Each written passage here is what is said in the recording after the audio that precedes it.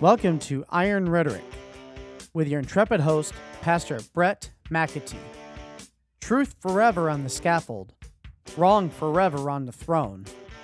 Yet that scaffold sways the future, and, behind the dim unknown, standeth God within the shadow, keeping watch above his own.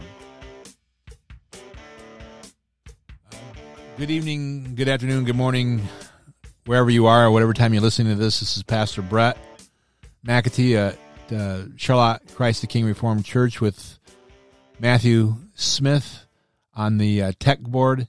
And we come again to you to do our um, latest podcast, Iron Rhetoric. Part of my difficulties, and this has been the case through the years, through the decades now, is that I've had way too many interests. I mean, there, there's not a there, there's not a, a subject I don't want to find myself uh, grabbing a shovel and digging to the bottom of it. Um, in undergrad, for example, it wasn't enough to have one major. I had uh, I had three majors. Uh, I had one in religion philosophy, I had one in American history, and I had one in political science. But I also took uh, large and copious amounts of uh, sociology and large and copious amounts of economics. Um, and it's been that way my whole life, uh, especially when it comes to humanities. I'm not a science guy. I don't know the the sciences. I do know a little bit about the philosophy of science. I read a little, little bit there, but the, the the numbers, the engineering side of things, well, that's that's not me. I have to be somebody. Somebody else has to do that.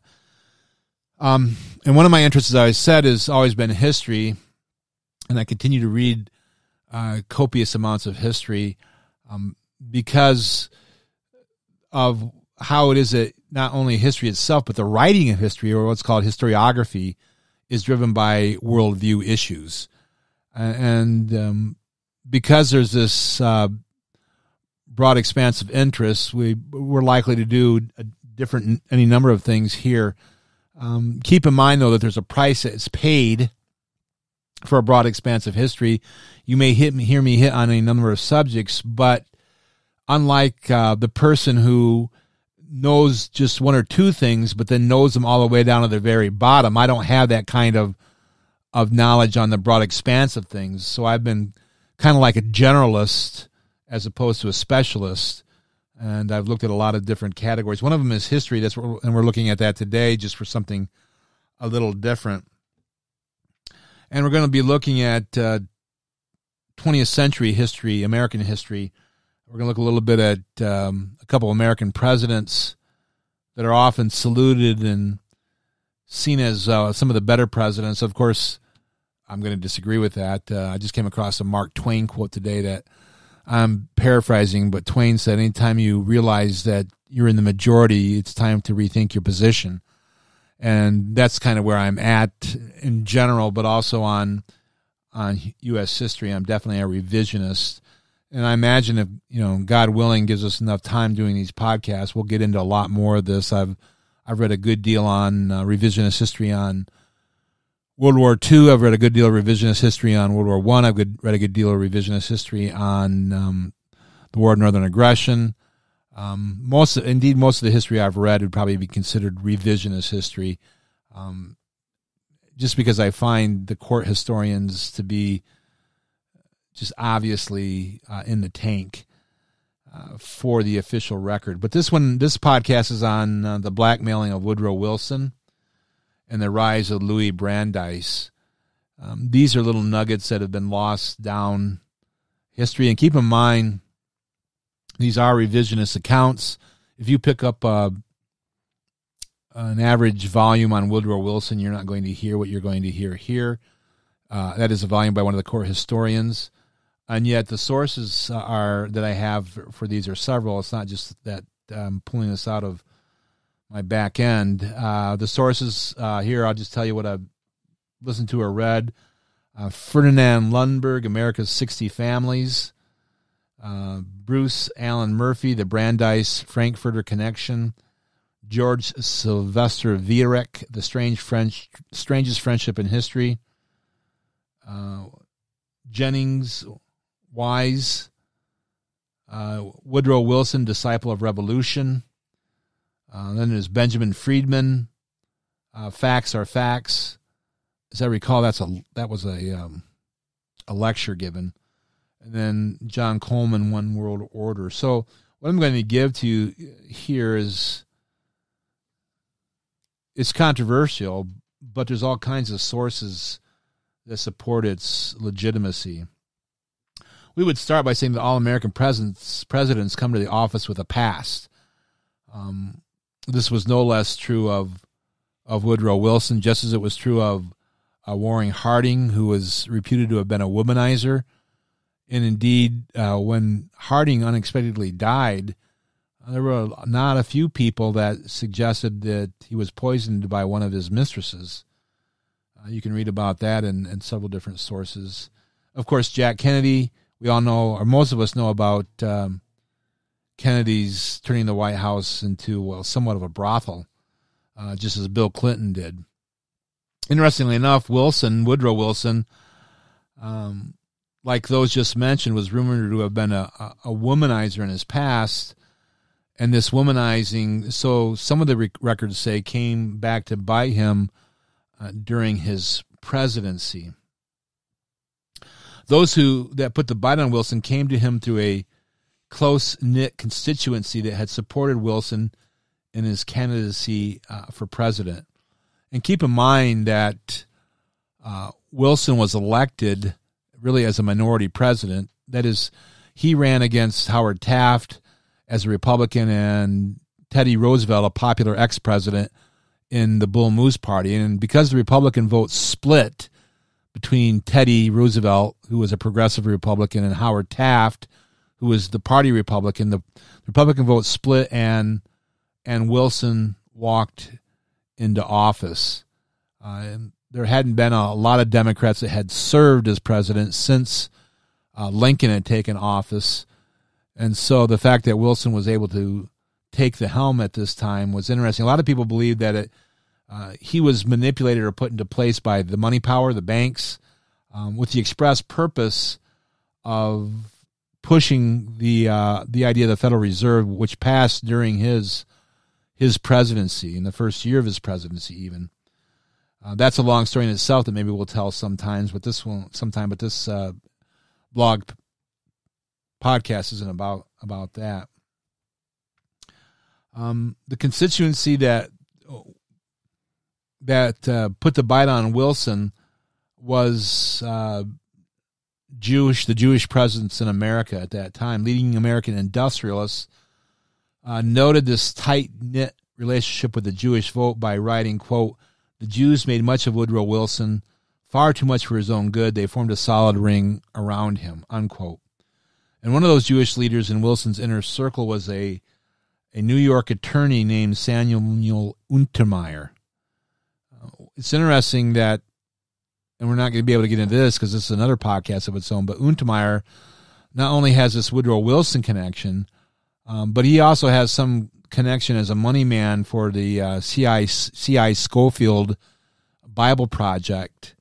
Uh, so it's interesting how uh, Untermyer got around.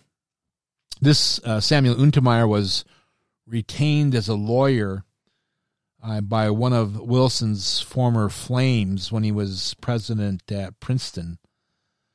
Um, for the purpose of to try and discreetly take care of a potential breach of promise uh, against Wilson by this former Wilson mistress. Um, Untermyer had been a supporter of the Wilson campaign and a contributor to boot. And as the story goes, Untermyer came to Wilson hoping that the case could be taken care of.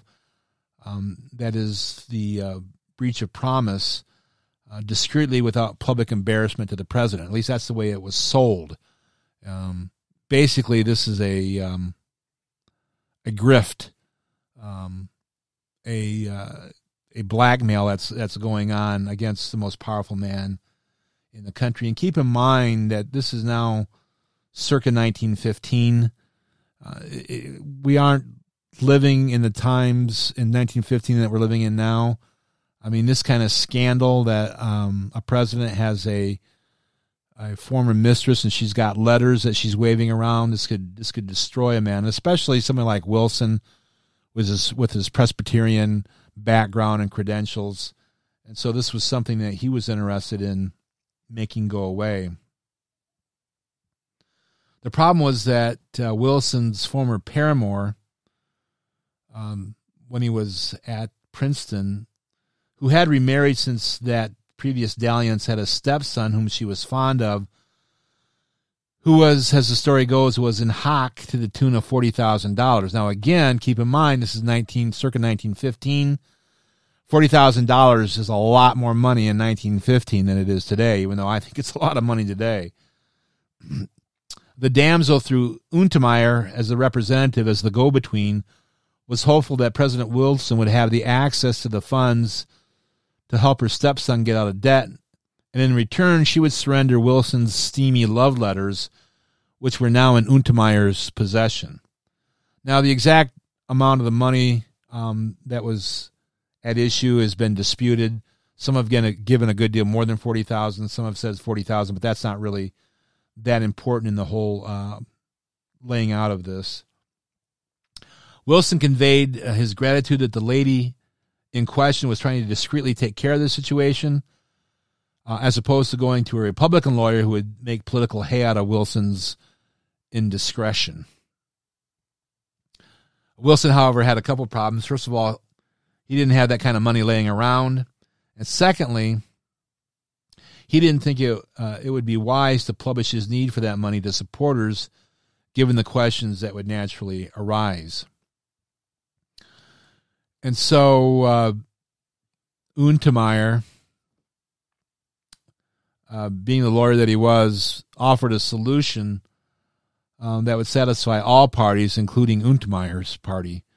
And actually, this is what this may have been all about to begin with. Untermyer offered Wilson that he himself would, out of his own pocket, provide the needed money uh, to the woman in question.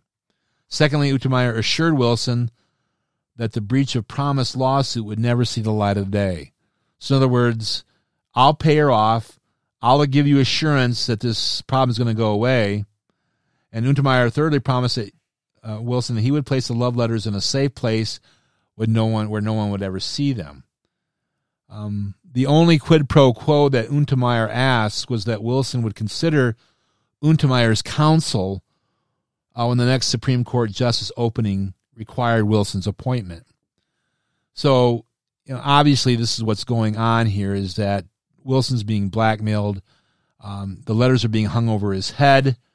Um, obviously, there's something in this past that he, you know, he feels compelled to make promises that probably weren't particularly wise.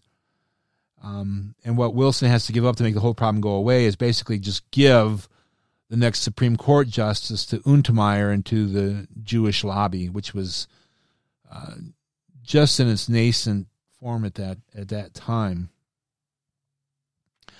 Um, that vacancy soon enough did occur. Uh, Wilson agreed to the arrangement, and Untermyer suggested that the jurist Louis Brandeis be the named the first Jewish justice of the Supreme Court of the United States. Shazam! Uh, Untermyer's suggestion became President Woodrow Wilson's appointment and that tells the story of how the United States got its first um, Jewish justice on the U.S. Supreme Court. And Brandeis ends up being a com- uh, completely large presence, a power broker in D.C. for for a number of years. And if these revisionist sources are to be trusted, and again, these revisionist sources are not just a few, then it was because of um, basically blackmail. So that's the first thing. It's just one little piece of revisionist history that I think um, is is very enlightening and takes. If anybody still has a halo on Woodrow Wilson, maybe we'll spend more time taking that halo off. But um, that's one piece of the puzzle. Here's another one. Um, Franklin Delano Roosevelt um, was actually worked in the I think he was Undersecretary of Navy in the Woodrow Wilson administration, something like that. Anyway, he's uh, largely seen as sainted, and again, the common ground here between um, Woodrow Wilson and this exposure of FDR is the idea of revisionist history. Um, FDR is seen as sainted. He's seen as one of the the greats. Um, that that would be the um, the elite narrative, the media narrative. He's seen as one of the giants in presidential history, and any biblical Christian would look at FDR and say that he was one of the worst, uh, probably the second or third worst president of all time. Um, maybe second behind Lincoln, maybe third behind Lincoln and Wilson. Um, but just a, a terrible man that did terrible things uh, to the U.S. Uh, not too long ago, I don't remember how many years, hasn't been that many. I read a small book by a chap named Curtis Dall. Um, and it, I think the title of it was Curtis Dall and his exploited father on his exploited father-in-law. Maybe it was uh, um, my exploited father-in-law by Curtis Dall, something like that. Um, and here we're just going to give him a give a quote from this book by Curtis Dall, which is another piece of revisionist history um, that kind of takes the burnish off of FDR. Not everybody loved FDR. I remember my uh, my grandfather, the man I knew as my grandfather. He was actually I didn't know it then at the time. I was ten, but he was my step grandfather. But I remember uh, clearly. I don't know why, but FDR's came name came up at a table conversation, and um, he about jumped out of his skin um, denouncing uh, FDR. I don't know why that memory still rings. Um, Dall says in his book, and I'm, this is a this whole piece today is a quote from from Curtis Dall. Remember, uh, he was a son-in-law for a while to FDR while he was president. I don't know how long his marriage. I think it was to Anne or Anna uh, was FDR's daughter. I don't know when it ended, but FDR was president for a while, and Curtis Dall was around in the scene. He wrote a book I'm quoting here, quote, a few months ago I, I read, Dall says, the interesting book When the Cheering Stopped by Gene Smith. It indicates the necessity of the American people being more adequately protected in the executive branch of our government in the event the chief exe- executive should become very ill or suddenly incapacitated. The book throws interesting lights upon the second marriage of President Wilson to Mrs. Edith Galt and to her complete devotion to him over the years, also how she ran the country for a while while Wilson had become ill. In perusing pages 20 to 23, Dall says, I was intrigued with the treatment of the well known manner of the Peck letters. So this takes us back to uh, what I just talked about. The name of the the flame in Princeton of Wilson was a woman by the last name of Peck. The numerous these were numerous letters written to Mrs. Mary Allen Peck, later Hulbert by Woodrow Wilson. Ultimately, Mrs. Hulbert reassumed the name of Peck after she divorced Hulbert. Dall goes on. As I heard the story related, the matter does not center around Mrs. Galt and Mrs. Peck. It indicates to me more as how Louis Brandeis came to be appointed by Wilson to the Supreme Court of the United States it centers around Louis Brandeis and illustrates allegedly so politics at its best and not women. And I'm still quoting from Dall here. Woodrow Wilson was often referred to as Peck's bad boy before 1913, and also whatever the wits felt called upon to say about him um, was referred to as Peck's bad boy. That title, Peck's Bad Boy, went back to his days at Princeton. It appeared that Mrs. Peck's son allegedly got him into some financial difficulties in Washington. Uh, he needed about, Dall says about 30K. And if you remember, I said just previously that the amount of money is disputed. But Dall said that Wilson needed about 30K to get things straightened out. But Mrs. Peck did not have that sum of money handy. That is, uh, yes, the son didn't have it handy because he's the one that got into financial difficulties. Uh, Mrs. Peck allegedly retained uh, Untermyer, a powerful New York lawyer, to represent her and help raise money for the son. Uh, and the events allegedly proceeded something like this. And here I'm still quoting from Dall. An appointment was made at the White House, and Mr. Untermyer called upon Wilson and presented his client's case, saying that his client needed money and that for the sum of $250,000, should return to President Wilson certain letters or else dispose of them to others. Wilson said, I haven't that kind of money. Untermyer said, Let me think it over. Let's take this matter and let's take this matter up again, say in a week or so, and I'll see what I can do. Later that next morning, Wilson continued, Mr. Untermyer, I cannot come up with 250, but I may be able to raise something like 100 if that would satisfy your client. So clearly, as I said earlier, there was blackmail going on here. Uh, Mr. Untermyer replied, No, Mr. President, that would not satisfy my client.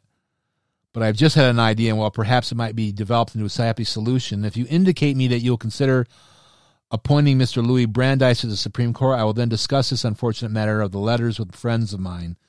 They might be able to then arrange to settle this matter to the benefits of all parties concerned. President Wilson thought over the matter. So did Counsel Untermyer and his friends. In due course, Dall writes Louis Brandeis sat on the Supreme Court bench, and soon he was regarded by all as a very able justice. In the world pro Zionist movement, Dall writes, he proved an important aggressive figure and exerted great efforts in that connection of Zionism both here and abroad. That's from Curtis B. Dall's book, FDR, My Exploded Father in Law. Um, and that's on page uh, 140 of, of that book. And so while this particular slice of Dall doesn't go after FDR, uh, there are other places in the book that does. This one tells a story about what we just mentioned um, previous to this. It does tell the story again of Woodrow Wilson. And so, again, here we find another source um, for this idea that the reason that Louis Brandeis got into the Supreme Court of the United States was blackmail. This is what this is all about. So here we have uh, uh, an account uh, from a source, uh, Dall's book, that underpins um, what we looked at earlier and, and, tells the same story. So you've gotten that in stereo now. You've gotten it from a couple of different sources, and we go on then to look now at um, the issue of of FDR. FDR, of course, um, was elected president in 1936. I was at the pause on that one. No, it was, yeah, 36, 40, 44. No, now I'm thinking. All right, so yeah, Harding, Harding won in 20, Coolidge won in 24, uh, Hoover ran and won in 28. Yeah, so 32 uh, FDR is elected president.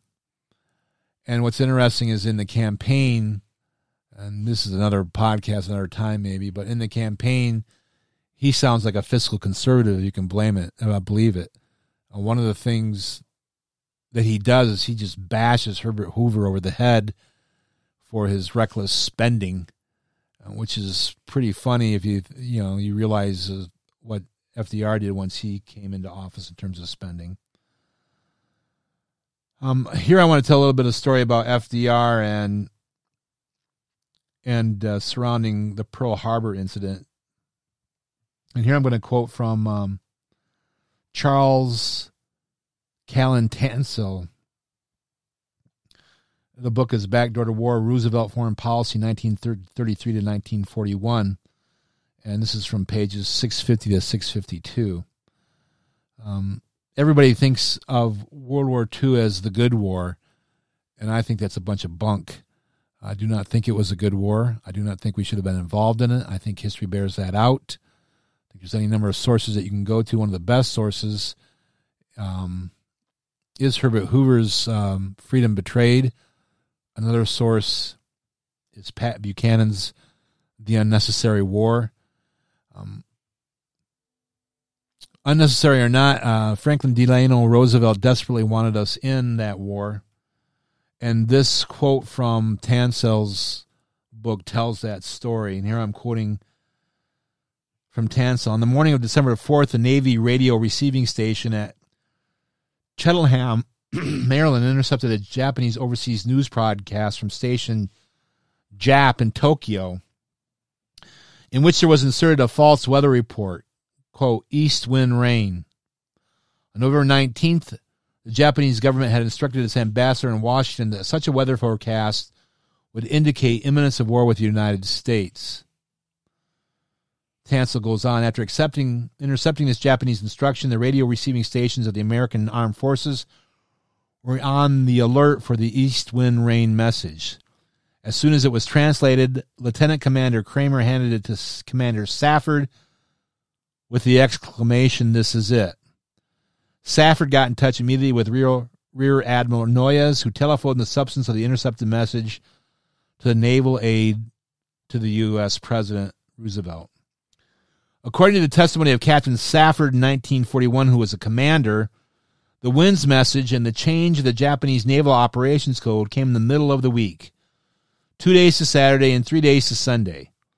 It was unthinkable that the Japanese would surrender their hopes of surprise by delaying until the weekend, which would have been the 13th or 14th of December 1941. This was not crystal gazing or intuition, it was just the plain common sense acceptance of a self evident proposition.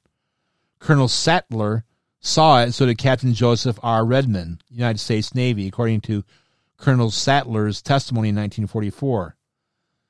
Everybody understood the Japanese were going to start the war on Saturday, December the 6th, 1941, or Sunday, December the 7th, 1941. Do you understand what I just said? Everybody understood the Japanese were going to start the war.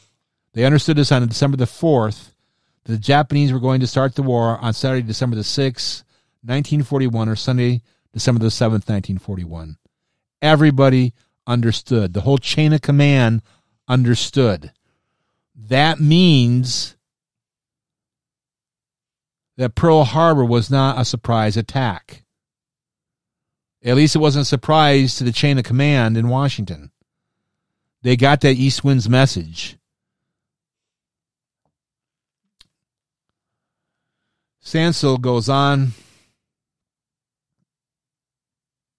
Tansill goes on uh, to say the next three days, Commander Safford and Lieutenant Commander Kramer tried in vain to get some action out of their superior officers, officers with regard to the implications of the east wind rain message. When they induced Captain McCollum to exert some pressure upon Admiral Stark, he was given a sharp rebuke, which so infuriated him that he later poured the whole story into the receptive ears of Admiral Kimmel. This disclosure led Kimmel to press for the Pearl Harbor investigation. The unaccountable failure of high naval officers to convey a warning to Honolulu about the imminence of war was given additional highlights on the evening of December the 6th when the Japanese reply to the American note of November the 26th was sent secretly to Ambassador Nomura. It was intercepted by Navy receiving stations and decoded. When the president read this message to Nomura, he at once exclaimed, This means war. He tried to get in touch with Admiral Stark, but was informed that the chief of naval operations was at the National Theater enjoying the delightful strains of the student prince. The next day, the admiral's ears would be assailed by the crashing echoes of the attack upon Pearl Harbor. It would ordinarily be assumed that the president, after reading this intercepted Japanese message, would hurriedly call a conference of the more important Army and Navy officers to concert plans to meet the anticipated attack. The testimony of General Marshall and Admiral Stark would indicate that the chief executive took the ominous news so calmly that he made no effort to consult with them. Here I pause from quoting Stansel.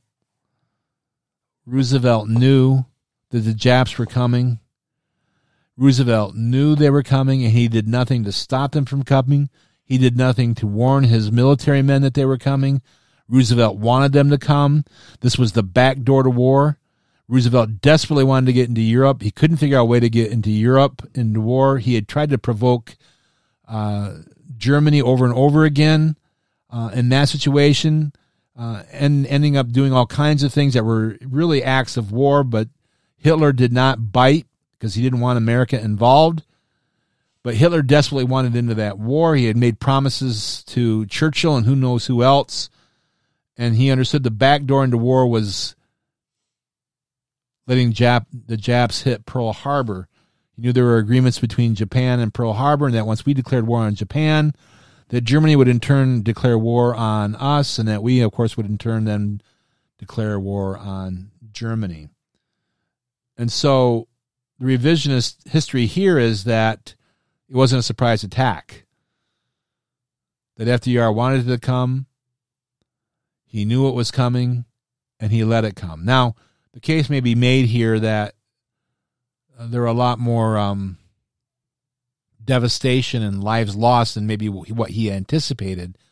But that's really irrelevant to the idea that the, that really FDR is guilty of treason and should have been given the uh, the capital offense for this treason. Now I'm picking up quoting Tansill again. Did FDR deliberately seek the Pearl Harbor attack in order to get America into war? What is the real answer to this riddle of presidential composure in the face of a threatened attack upon some American outposts in the faraway Pacific? This problem grows more complicated as we watch the approach of zero hour. At 9 a.m. on December the 7th, Lieutenant Commander Kramer delivered to Admiral Stark the final installment of the Japanese instruction to Nomura. Its meaning was now so obvious that Stark cried out in great alarm, My God, this means war. I must get word to Kimmel at once. But he made no effort to contact Honolulu. Instead, he tried to get in touch with General Marshall, who, for some strange reason, suddenly decided to go on a long horseback ride. It was a history making ride. In the early hours of the American Revolution, Paul Revere went on a famous ride to warn his countrymen of the enemy's approach and thus save American lives. In the early hours of World War II, General Marshall took a ride that helped prevent an alert from reaching Pearl Harbor in time to save an American fleet from serious disaster and an American garrison from a bombing that cost more than 2,000 lives. Was there an important purpose behind this ride? This question looms constantly larger as we look forward into the Pearl Harbor hearings. When Colonel Bratton on the morning of December the 7th saw the last part of the Japanese instructions to Nomura, he realized at once that Japan planned to attack the U.S. at some point or near 1 o'clock that day. To Lieutenant Commander Kramer, the message meant a surprise attack at Pearl Harbor today. This information was in the hands of Secretary Knox by 10 a.m., and he must have passed it on to the president immediately. It was 11:25 a.m. when General Marshall finally returned to his office. If he carefully read the reports of the threatened Japanese attack on Pearl Harbor, he still had plenty of time, even then, to contact Honolulu by means of the scrambler telephone on his desk, or by the Navy radio, or by the FBI radio. For some reason best known to himself, he chose to send the alert to Honolulu by RCA. It did not even take the precaution to have it stamped priority. As the Army Pearl Harbor Board significantly remarked later, we find no justification for a failure to send this message by multiple secret means, either through the Navy radio or the FBI radio or the scrambler telephone or all three. Was the General Marshall under presidential orders to break military regulations with regard to the transmission of important military information? Did he think that the president's political objectives outweighed considerations of national safety? Was the preservation of the British Empire worth the blood, sweat, and tears not only of the men who would die in the agony of Pearl Harbor, but also the long roll of heroes who perished in the epic encounters in the Pacific, in the Mediterranean area, and the famous offensive that rolled at high tide across the war torn fields of France? New cemeteries all over the world would confirm to stricken American parents the melancholy fact that the of military glory lead but to the grave. But the president, Harry Hopkins, viewed these dreaded contingencies with amazing equanimity. In the quiet atmosphere of the Oval Study in the White House, with all incoming telephone calls shut off, the chief executive calmly studied his well filled stamp albums while Hopkins fondled Fala, the White House Scotty. At one o'clock, death stood in the doorway. The Japanese had bombed Pearl Harbor. America had suddenly been thrust into war. She is still fighting. And again, that's from Charles Callan Tansill, Backdoor to War, Roosevelt Foreign Policy 33 to 41, pages 650 to 652. Um, and so this is one, just one reason why I think Roosevelt was just such a wicked man. I believe from these kind of accounts and other kinds of uh, similar accounts that I've read that he wanted the war to come. He knew the Japs were coming. He decided that in order to move the nation to war, there had to be some kind of riveting event um, that shocked the nation forward because the nation at that time, all pollings had suggested they were opposed to the war. FDR had promised himself in the 1940 campaign, quote unquote, your boys will not go to any foreign wars. He had said that two or three times on the stump. Right. Um, so his question was not how do I avoid war. His question was is how do I get into war? He needed he needed the enemy to fire the first shot, um, and to do so in such a way that was altogether treacherous. And you can't find any more treachery than this. And of course, the whole nation the whole nation didn't know. There were people that suspected. Um, but we have to understand it's not only it's not only Roosevelt that's in the dock at this point. It's also the Secretary of uh, War Knox. It's also a Secretary of Navy. It's also uh, field, uh, it's also General Marshall. Um, I think he was head of the Joint Chiefs of Staff at that time. So there's any number of people that that were in the chain of command that knew this was coming down and, and decided they would rather uh, 2,000 Americans die or Americans die than than try to avoid this. And while we're talking about FDR, why don't we just continue on on this vein? Another book that I've read on FDR is by Hamilton Fish. Um, and the book's titled FDR, The Other Side of the Coin How We Were Tricked into World War II. And this is from page 146 forward. Um, I've done a lot of reading on this era, a lot of reading on the Wilson era, a lot of reading on the Lincoln era. Um, actually, a lot of era reading on American history in general. But Fish, Hamilton Fish, you have to understand, uh, was an enemy, a sworn enemy of, of FDR. FDR uh, didn't like Fish any more than Fish liked Hamilton. And we already talked about uh, how FDR knew the Japs were coming, wanted the Japs to come, opened the back door for the Japs to come uh, for the reason of wanting to get in the war. This goes, uh, Hamilton Fish's treatment here goes a little bit more into the dynamics of all that from a different kind of, of angle. And so we're quoting from Hamilton Fish's book here. Quote, FDR's day of infamy, infamy speech on December the 8th, 1941, asking Congress to declare war amidst all reference to his war provoking ultimatum uh, given to the Japanese 10 days before the attack on Pearl Harbor. Um, and here I'll pause uh, I, I, don't have time to get fill, fill in all the details, but what had actually happened is that the U.S. had manipulated Japan into a choice of either um, having to pull back because they didn't have the resources in order to continue to uh, extend their lifeline to their uh, island empire, or else they'd have to go to war. They, that's that's the choice he gave them by his uh, policy. Uh, he had, for example, he had cut off oil from them.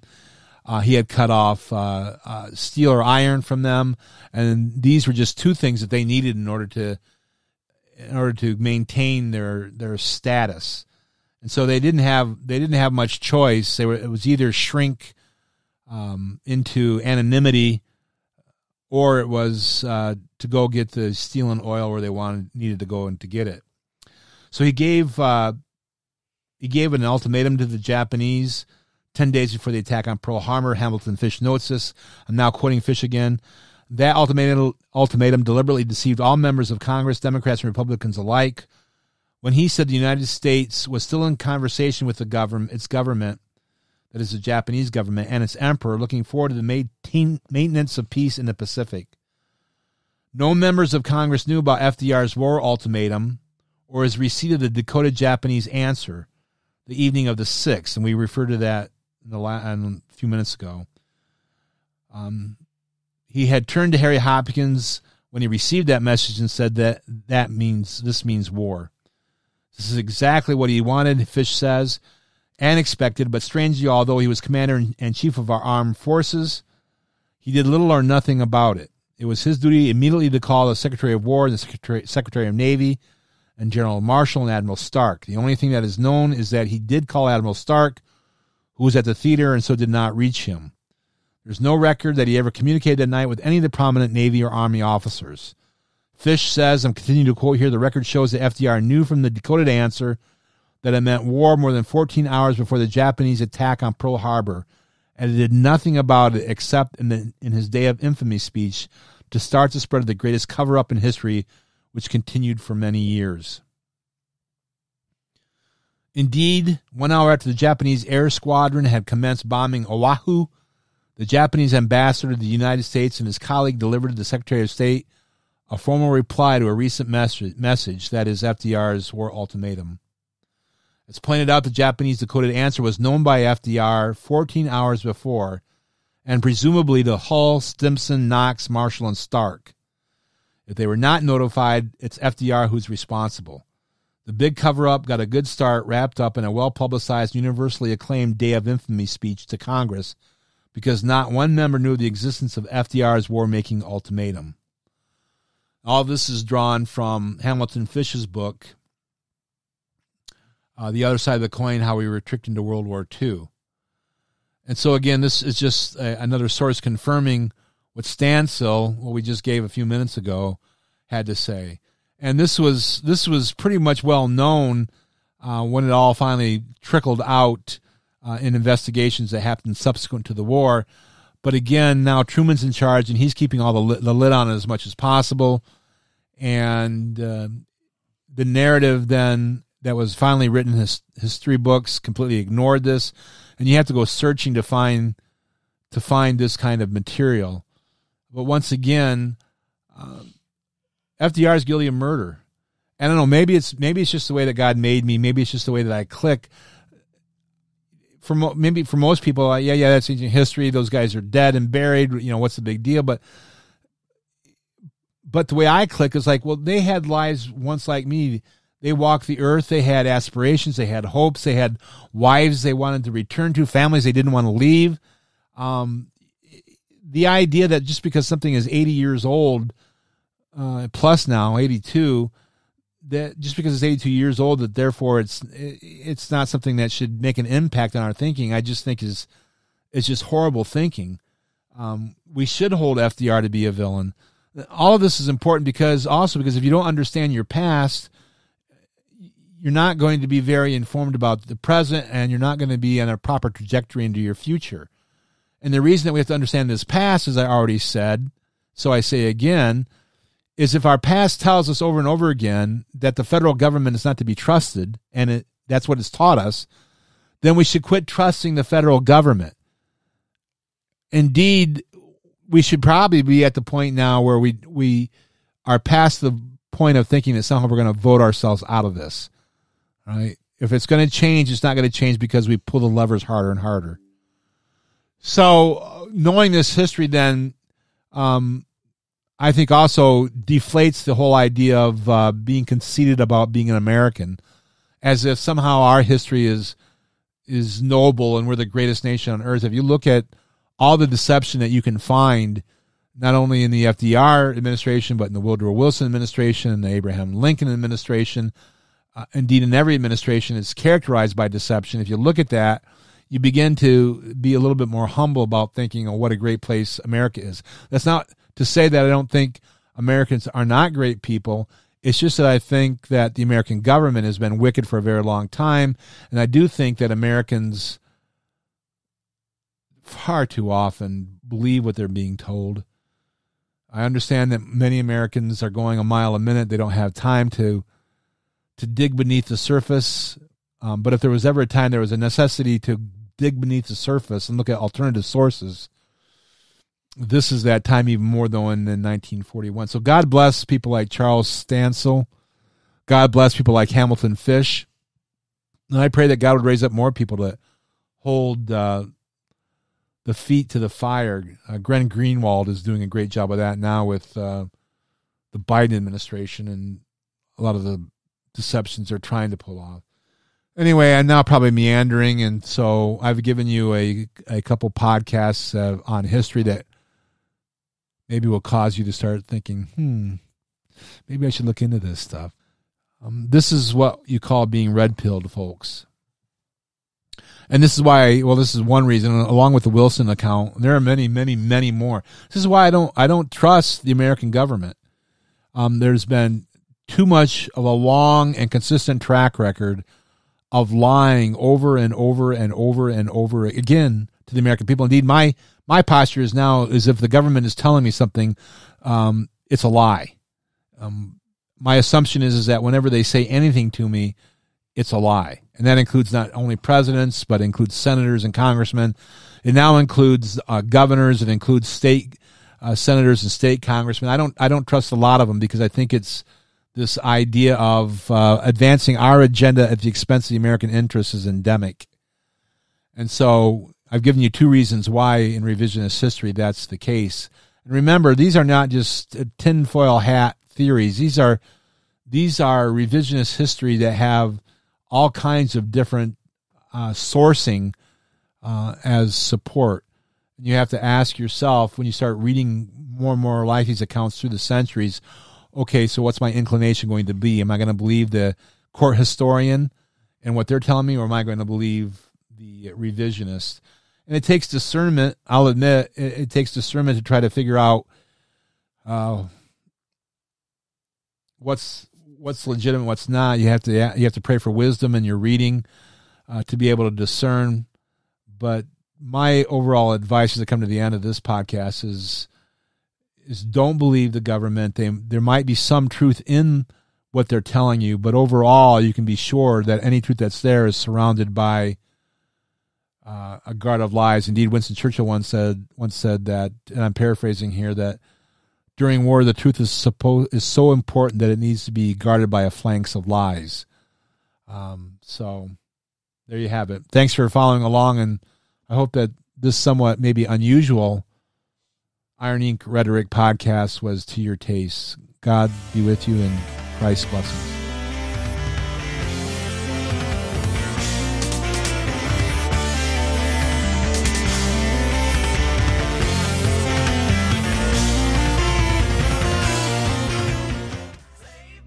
Thank you for joining us this week. Look for us on Spotify, Apple Podcasts, Google Podcasts, and Anchor FM. Don't you know she could bring a good feeling? Ain't had in such a long time. Save my life, I'm going down for the